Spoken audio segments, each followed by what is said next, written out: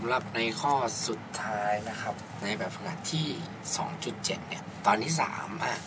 เขาก็จะบอกโจทย์มาว่า ในการทดลองเนี่ย ในการทดสอบเหรียญ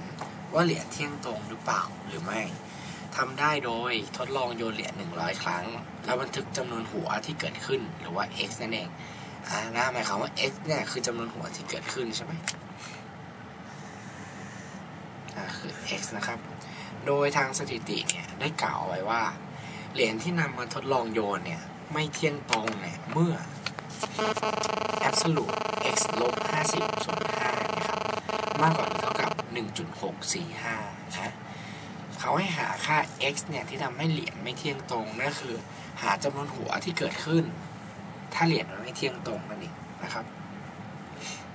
อะทีนี้เรารู้อาสมการนี้ละใช่ไหมว่าจะไม่เที่ยงตรงเมื่อ ไม่เที่ยงตรงเมื่อ เมื่อ x เนี่ยอยู่ในอาสมการนี้ใช่ไหมเพราะฉะนั้นเราอาสมการนี้มาเขียนใหม่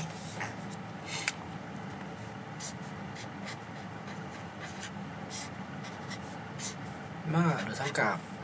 1.45 นะครับ อะ ทีนี้เนี่ย absolute เราถอดออกมาก่อนนะถอด absolute ออกมาก่อนกลายเป็น absolute x ลบ50 นะครับ ส่วน 5 ใช่ไหมเพราะถอด absolute 5 มาได้เลยถูกปะ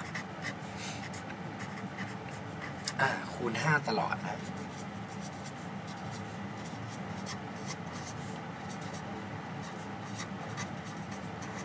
อะ ได้เป็น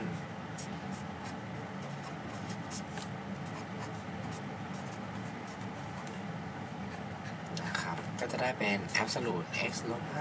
50อะ อันนี้คูณกัน นะครับ เป็น 8.225 นะ อะ ทีนี้เนี่ย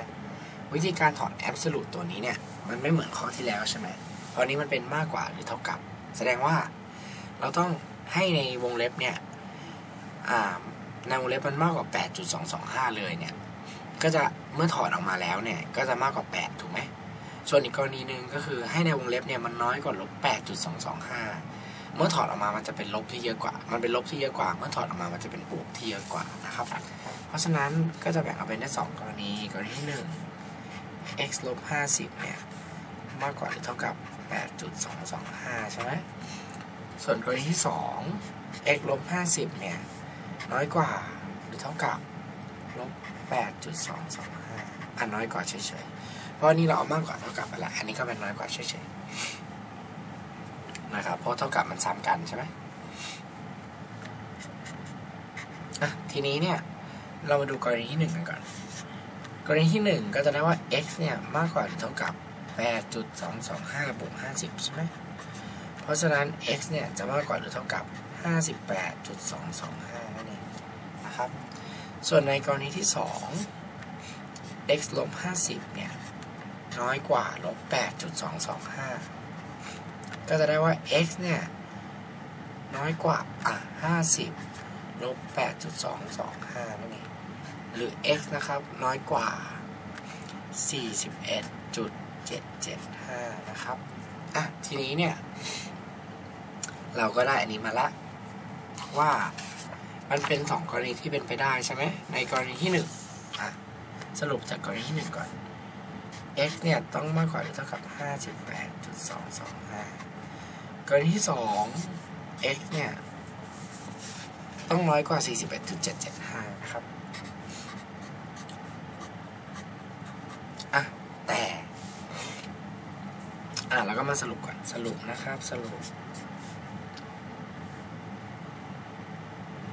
อันนี้ก็คือตั้งแต่อือย่างนี้ใช่ไหมอันนี้จะเป็น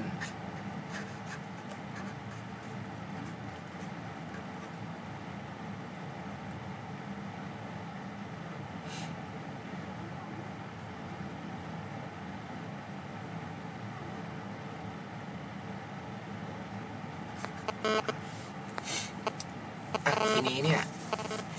เราก็รู้แล้วใช่ไหมว่า มันจะเป็นไปได้ที่จะทำให้มันไม่เที่ยงตรงเนี่ยก็ต่อเมื่อกรณีที่หนึ่งเป็นห้าสิบแปด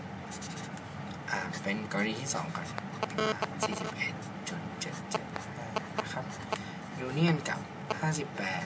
จุดสองสองห้าถึง infinity อะจะเป็นตัวนี้ถูกไหมจะทำให้เหรียญไม่เที่ยงตรงแต่ การโยนเหรียญเนี่ยจำนวนครั้งเนี่ยจำนวนครั้ง ที่เกิดหัว เป็นบวกเสมอใช่ไหม และเป็นจำนวนนับเสมอนะอะ นั่นก็คือเพราะฉะนั้น เราก็ต้องเปลี่ยนละ ว่าเราตอบมันไม่ได้ อะในกรณีที่สองเนี่ย น้อยกว่า 41.775 เนี่ย ก็คือตั้งแต่ 41 ใช่ไหม41 40 ลงมาเรื่อยๆ จนถึง 0 ถูกไหมครับ เพราะว่าเราโยนเนี่ยร้อยครั้งใช่ไหมโยน 100 ครั้ง โอกาสเกิดหัว น้อยสุดเนี่ย คือ0โอกาสเกิดหัวมากสุด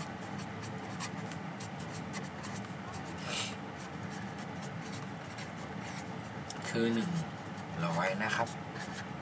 อะ เพราะฉะนั้นในกรณีที่สองเนี่ย x น้อยกว่า 41.775 นั่นหมายความว่าเป็น 41 ไปเรื่อยจนถึง0ถูกไหมเพราะเกิด 41 ไปเรื่อยน้อยสุดคือ 0 อะ ส่วนในกรณีหนึ่งคือกรณีที่ 1 เนี่ย กรณีที่1เนี่ย x มากกว่าหรือเท่ากับ 58.225 มากกว่า 58 กว่ากว่าก็คือ 59 ใช่ไหม ไปเรื่อยๆ ใช่ไหม 59 60 61 ไปเรื่อยๆ จนถึง 100 นะครับอะเราก็ได้คำตอบมาแล้ว เพราะฉะนั้น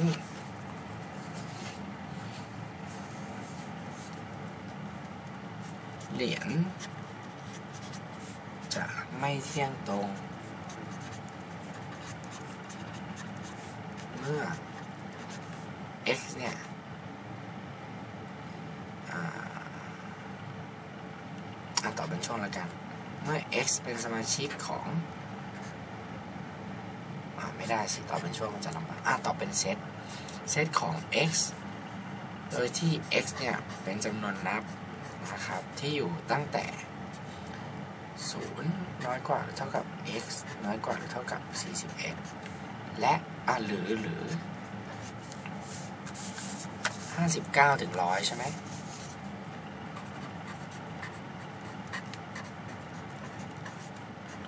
เป็นตัวนี้นั่นเองนะครับนะเพราะอะไร อ่าเรามาอ่านให้ดูก่อน มาทวนกันอีกรอบ ก็คืออันนี้เนี่ยเขาบอกว่าโยนเหรียญ100ครั้งใช่ไหมแล้วบันทึกจำนวนครั้งที่เกิดหัวอะจะไม่เท่งตรงเมื่อเป็นอันนี้ ทีนี้ถ้าให้เราหาค่าของ x อะก็คือเราได้สมอ่าสมการที่เขากำหนดมาใช่ไหมอะแก้สมการธรรมดาคูณ5ปุ๊บถอด absolute ได้เป็น 2 กรณีใช่ไหมครับได้เป็น 2 กรณีนะ กรณีที่ 1 เนี่ย ได้ออกมาเป็น x มากกว่าหรือเท่ากับ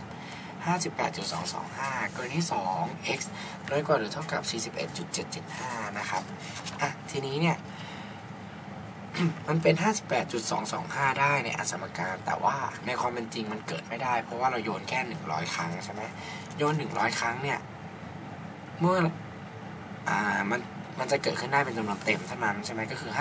66 1ไปเรื่อยๆ นะครับ ในกรณีที่ 1 ใช่ไหม จนถึงเต็มที่เนี่ยก็คือ 100ประโยชน์แค่ร้อยครั้งนะ ส่วนในกรณีที่ 2 น้อยกว่า 41.775 เนี่ย ก็คือ 41 ลงมา จนถึง 0 เพราะอะไรเพราะโอกาสเกิดหัวน้อยสุดคือ 0 ใช่ไหมโยนร้อยครั้งเกิด 0 ครั้งเนี่ยน้อยสุดแล้วติดลบไม่ได้ใช่ไหมอะ เพราะฉะนั้นก็ตอบได้แล้วว่า x เนี่ย ต้องเป็นอย่างนี้นะครับ อยู่ในช่วงที่เราหาได้นั่นเองนะถึงจะไม่เที่ยงตรงนะครับ